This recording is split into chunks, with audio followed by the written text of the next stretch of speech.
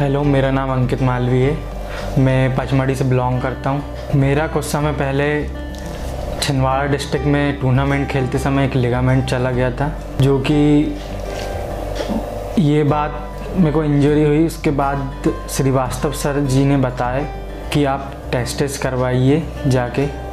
उसके बाद पता चला कि लिगामेंट इंजरी हुई है। उनने सजेस्ट करे कि डॉक्टर एस के गुप्ता जी के पास जाइए आप, वो स्पोर्ट्स सर्जन है। उसके बाद सर ने मुझे सजेस्ट करा है कि बताया कि आपका लिगामेंट एसीएल इंजरी है। उसके बाद मैंने एट टू नाइन मंथ्स होते आ रहा है कि मैं body leg movement body movement अच्छे से कर पा रहा हूँ।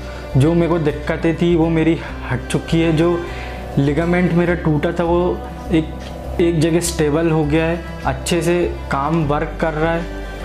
और प्रॉपर एक्सरसाइज हो रही है। मैं दौड़ पा रहा हूँ, चल पा रहा हूँ और जो भी बाकी चीज़ें हो सकती है वो कर पाता हूँ। जिमिंग कर रहा हूँ, ट्रेडमिल में दौड़ पाता हूँ, उसके बाद ग्राउंड में वॉकिंग कर सकता हूँ एक्सरसाइजेज हो रही है और पैर मूवमेंट इतना परफेक्टली हो रहा है कि मतलब लग ही नहीं रहा है कि सर्जरी हुई है।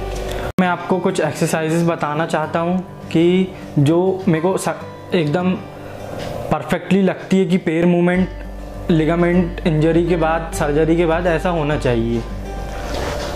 First exercises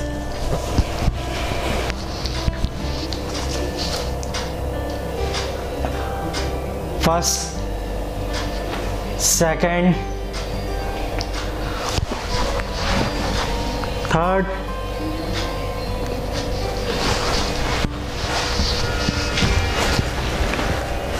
fourth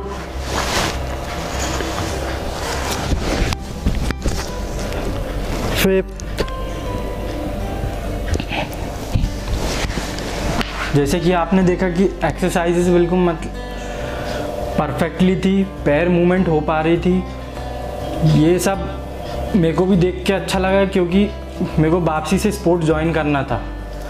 इसलिए अगर आप लोगों को ऐसा लगता है कि आपकी लिगामेंट चला गया है या पैर में कोई इंजरी टाइप की लग रही है तो प्लीज़ डॉक्टर एस के गुप्ता जी के पास आइए।